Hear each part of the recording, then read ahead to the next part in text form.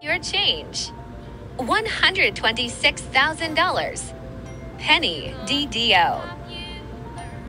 This is actually true.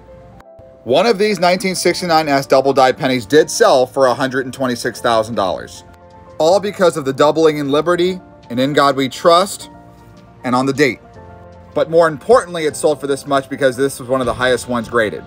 Now, I'm not saying you're not going to find one, but if you find one, it's more than likely going to be tens of thousands of dollars instead of that much. This is why I'm talking about this. Someone actually found one.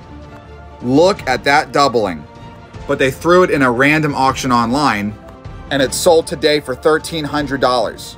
And unfortunately, that person just sold this penny for way too cheap.